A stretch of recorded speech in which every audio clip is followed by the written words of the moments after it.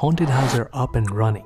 There is a pumpkin patch on every corner, and the debate over whether candy corn is actually good is raging once again. Halloween season is in full swing. What better way to get in the spooky spirit than with a good movie. Whether it is a seasonal classic, a new horror gem, or a family favorite that just screams fall vibes. Fortunately, Netflix has a pretty strong selection of Halloween favorites this year. No matter what you're looking for, I have narrowed down the list to the best, scariest, and downright fun movies in the bunch. So grab a candy corn if that is your thing, fire up some apple cider, and settle in for the best Halloween movies you can watch on Netflix right now. And before we jump jump into the list, don't forget to smash that red bloody subscribe button.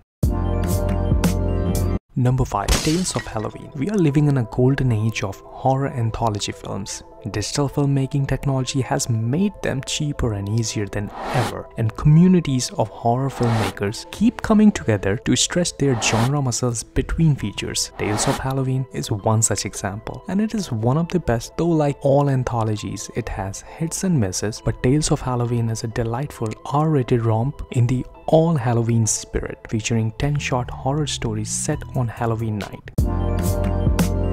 Number 4. Oculus. A great addition to Netflix horror bench, Oculus follows two siblings who believe in an evil mirror murdered their parents a decade earlier. The tension just keeps building as layers of new knowledge for both the characters and the audience are acquired. Oculus has some solid jump scares and is one of the few heart-pumping horror films on this list and if you find mirror spooky, stay away. And if you love to check yourself out in the mirror, then this thriller will compel you to think otherwise otherwise. Oh, Hello again. You must be hungry.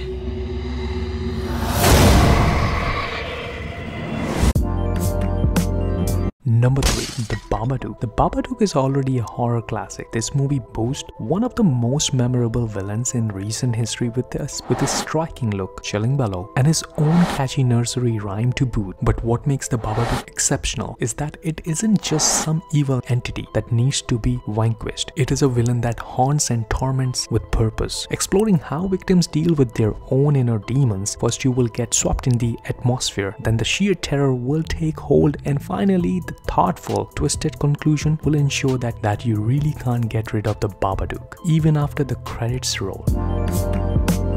Number 2. Drag Me to Hell. Sam Raimi's 2009 horror film is the perfect example of unspeakable horror and gross out humor. Alison Lohman plays a bank loan officer who turns down an elderly woman's request for an extension for her mortgage payment. The woman retaliates in witchy ways, placing a curse on her new enemy and promising an untimely death. Drag Me to Hell is plenty frightening and, and the gross out test two times over. But this screenplay includes some signature comedic moments that plays with the genre and its tired cliche to create something much more interesting.